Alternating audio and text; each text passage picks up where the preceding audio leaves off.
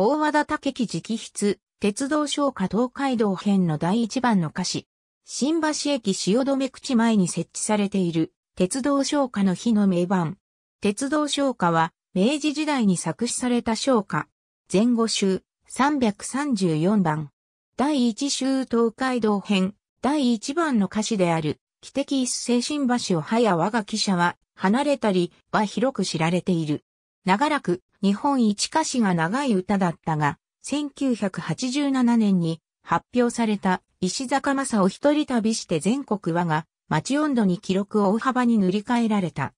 カラオケでは鉄道唱歌第一週66番をすべて歌うことができ、その曲調は28分40秒であり、カラオケで収録されている歌としては有数の長さを誇る。発売された CD としては、ボニー・ジャックスが334番全集、キド・ブラザーズが省略せずに399番を収録した CD 集がある。大阪の出版社、小文館を主催する市田玄三が企画し、大和田武樹に作詞を、田場一と上正幸に作曲を依頼したことから、鉄道商家は誕生した。しかし、小文館の経営状態はすでに悪化していた。1900年5月10日に第一週、東海道兵を発売したものの、印刷部数はわずか3000部であり、宣伝資金もなかったために、ほとんど売れないまま、小文館は倒産した。この鉄道商家の版権を一致だから買収したのが大阪で楽器店を営んでいた三木佐助である。江戸時代より往来物と呼ばれる宿場町を覚える歌や鉄道開業後にレールエブシと呼ばれる鉄道沿線を紹介する歌が存在したため、鉄道路線網が形成されるに従って、それら路線の沿線を歌った書籍の販売の着想を得たと言われている。第一州東海道編は1900年に地理教育鉄道商家第一州のタイトルで2期によって再度出版され、楽団を乗せた列車を走らせるなどの奇抜な広告戦略の効果もあって大流行した。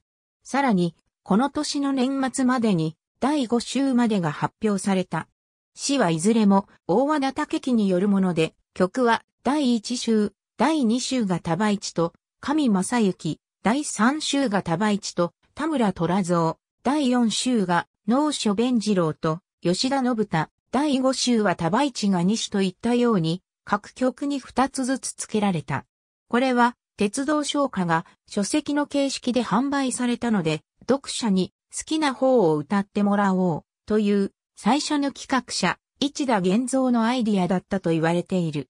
だが第1週から第3週、そして第5週の曲の一つであった、多倍地のそれが、叙情的な上、正幸の曲よりも、ヨナ抜き音階のピョンコ節で、メロディーが覚えやすく、あまりにもテンポがよく旅情がそそられるといった事情のためか、広く歌われるようになって、他の方の曲はほとんど歌われなくなってしまった。現在知られているのはもちろん多倍地の曲である。多倍地の作曲によらない第4週も、この曲で歌われることが多い。ちなみにテンポよく聞こえるのは歌詞が7音、5音、7音、5音、7音、5音、7音、5音となっているのも要因の一つである。異説として最初からミキの企画だったとする説、無名の一青年の死を買い取り、大和田が保出したとの説がある。ミキは街頭で手風琴に合わせて演歌手が歌う哀愁を帯びたメロディーを耳にして、鉄道旅行家のアイデアをひらめき、作詞を大和田に依頼する。その際、参考に、横江鉄石の東海道義者の旅と無名作家の歌詞を大和田に差し出すが、物足りない作品ですね。表現も硬くて、暗いと言って返されたとしている。鉄道商家の書籍は、大正初期までの20年間に、総計2000万部を売ったという。タイトルに地理教育と付けられている背景として、当時の音楽教育の一環として、歌による知識の習得という方針があり、版元はこの方針に乗って、鉄道商家の販売数を増やす意図があったようである。本家の発表直後から全国各地で郷土版が多く制作された。膨大な詩の中に沿線の地理や歴史、民話や伝説、名産品の紹介を織り込んだこの曲は大人の間でも人気となった。なお、東京都千代田区の交通博物館には、大和田直筆の鉄道唱歌第1番の歌詞が飾られており、同館の最終営業日の閉館時には、この歌を歌い閉館を惜しむ人たちが見られた。現在、その直筆書は、埼玉県埼玉市の鉄道博物館に所蔵されている。1957年に新橋駅汐留口前に設置された鉄道唱歌の日。石踏みの上部には第1号機関車の模型が乗る。大和田竹駅の生誕100周年と鉄道開業85周年にあたる1957年、大和田のモンテーラーが結成した同人、松酔社が記念碑の建立を発案し、日本国有鉄道や同和工業、鉄道友の会らの賛同や協力を得て、鉄道消化の日が同年10月に設置された。石踏みの中央には、大和田直筆の鉄道唱歌第1番の歌詞が刻まれた同名版がはめ込まれ、その下の大和田の生涯を記す碑文は、彼と同郷で鉄道唱歌の全歌詞を暗唱できたという安倍義成が記号した。石踏みの除幕日には、新橋駅横浜駅間が正式開業した10月14日が選ばれ、国鉄の東京鉄道管理局吹奏楽団が鉄道唱歌を演奏する中、竹木の孫の大和田金庫や大和田門人の船橋、沢子、高塚里清道などが出席して、除幕式が取り行われた。ただし、鉄道唱歌が制作された当時の新橋駅は、記念碑建立時には、汐留駅廃止であったため、石踏みは、同駅の方に向かった、新橋駅汐留口に置かれている。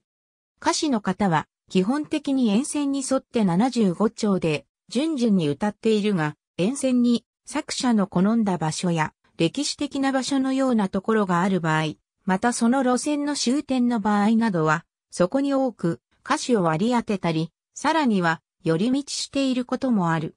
例えば以下の最初にある鎌倉の場合、その直前に横須賀駅は乗り換えと呼ばれて古る大船のとあり、横須賀線に乗り換えて寄り道することが歌詞になっている。